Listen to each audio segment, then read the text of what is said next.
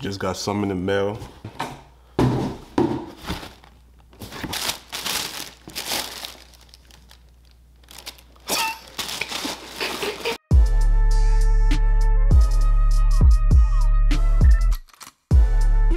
Wait, hold on. Let me put my do not disturbs on real quick. Boom. And boom. So we are back again with a brand new video and a brand new pickup. As you saw from the intro, just got the Yeezy, well, the Adidas Yeezy 500 high in the Tyrian colorway. These right here.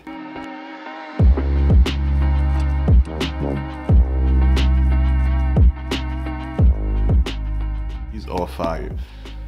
These are fire. Let's just start by saying this. Tyrion. What?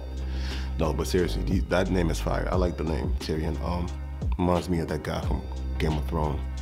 But um, yeah. Shoes are the Adidas Yeezy 500.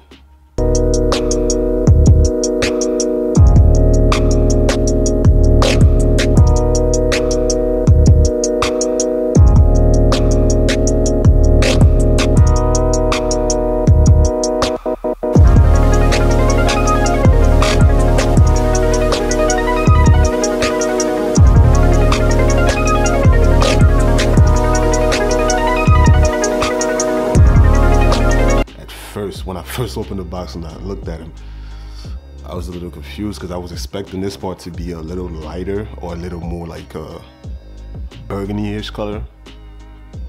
But I'm liking them. I'm liking them. I like the I like the design of it. This is my first pair of 500 actually.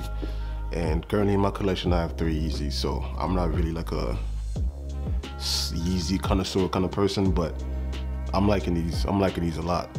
So we get to the back of the shoe, which is actually my least favorite part of the shoe. If I had one complaint, it would be this part right here. We have right here the dark gray rubber, the brown suede, and the black leather, and also the neoprene. Everything is just stacked back there, and I'm not understanding why they did that. but-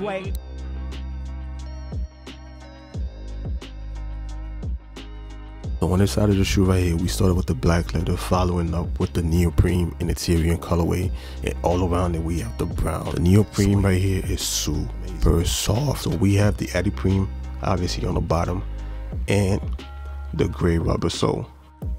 So we come to the front of the shoe where we have the brown suede, and it's actually pretty soft. I'm liking the material they used here.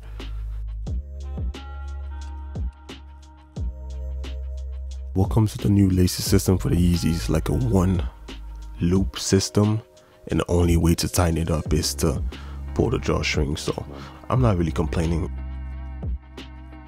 And also my pair came with an extra pair of regular laces so if I wanted to swap it out I can easily do that. Bottom of the shoe right here as you can see has the adiprene and the adiprene design all in a dark gray colorway. Also, these shoes are true to size, so whatever Yeezy size that you wear, go with that. I'm a size 10 and a half. I have white feet, and these fit perfectly like butter. So I suggest you guys to go with your true size. And yeah, that's it. This pair actually really grew on me. Like I didn't like the slate. Oh, I think that's the name of it, the slate that came out. But these right here, I will put these above the slate anytime, any day. As you can see, this color is popping. I, I watch a lot of reviews online and a lot of people don't like these for some reason. I'm liking them. I think that, in my opinion, right, I think they don't like these because they came out at the wrong season, I guess.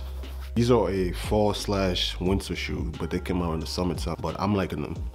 I could put them away in winter fall and rock these, you know what I mean? Gray sweatpants with these or some type of sweatpants with these be fire.